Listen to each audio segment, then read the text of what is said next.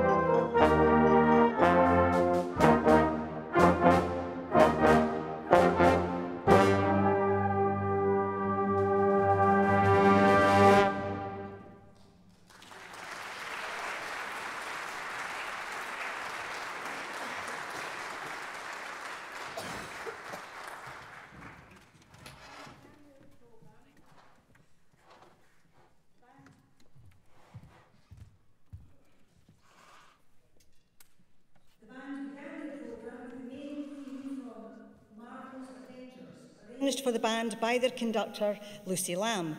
Alan Silvestri composed his dramatic music to reference most of the Avengers' individual leitmotifs, truly offering us an Avengers Assemble moment. The band will continue with Doyle's Lament from Peter Graham's well-known work Call of the Cossacks. Today, the solo line will be taken by solo baritone player Emily Krogler. Emily included the piece in her most recent exam programme and was awarded full marks for her sensitive performance of this lyrical music.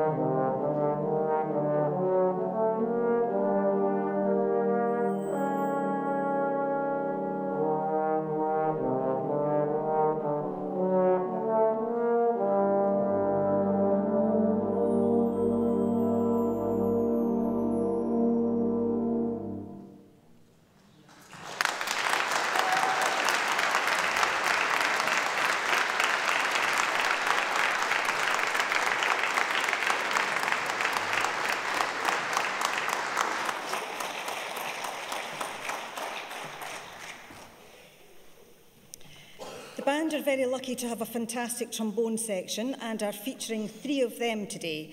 After taking a very long time to, to don their ecclesiastical headgear at the last concert, the boys have been banned from dressing up on this particular occasion.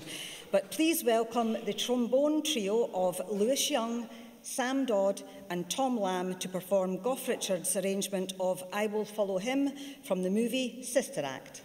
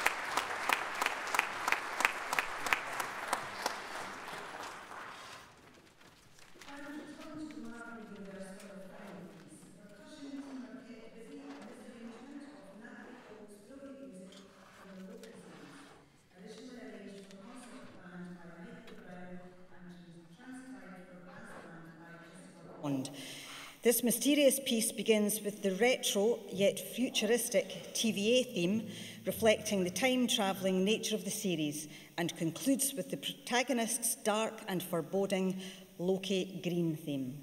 Thank you.